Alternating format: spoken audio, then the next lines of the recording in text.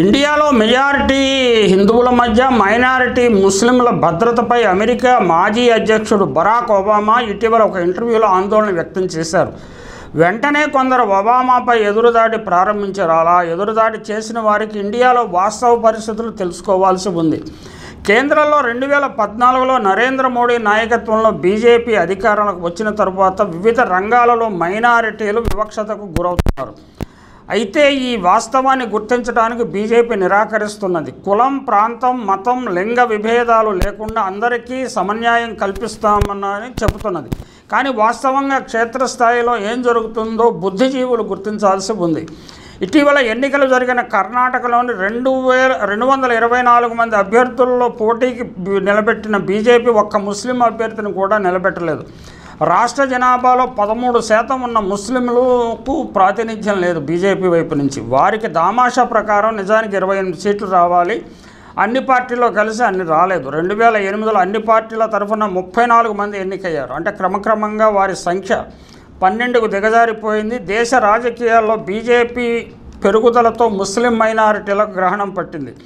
గుజరాత్లోను ఉత్తరప్రదేశ్లోను ఢిల్లీ బీహార్ ఎన్నికల్లో కూడా బీజేపీ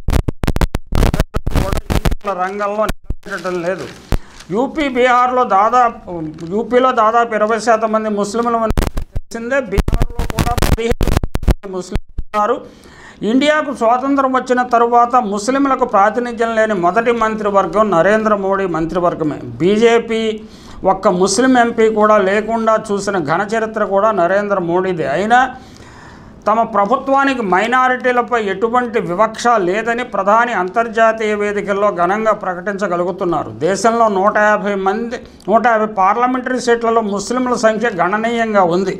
వారి జనాభా దామాషా పద్ధతిని దాదాపు ఎనభై లోక్సభ స్థానాలు వారికి దక్కాలి. కానీ పరిస్థితి సంతృప్తికరంగా లేదు. కర్ణాటక కేరళ తమిళనాడు ఆంధ్రప్రదేశ్ తెలంగాణ ఒడిశా పశ్చిమ బెంగాల్ ఛత్తీస్గఢ్ జార్ఖండ్ బీహార్ రాజస్థాన్ ఢిల్లీ పంజాబ్ హిమాచల్ ప్రదేశ్ రాష్ట్రాలలో బీజేపీయేతర ప్రభుత్వాలు ఉన్నప్పటికీ ముఖ్యమంత్రి కూడా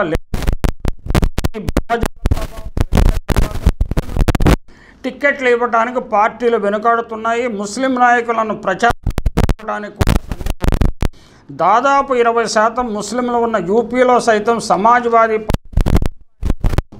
ఎన్నికల ప్రచారానికి పిలవటానికి సందేహిస్తున్నదంటే పరిస్థితిని ఏ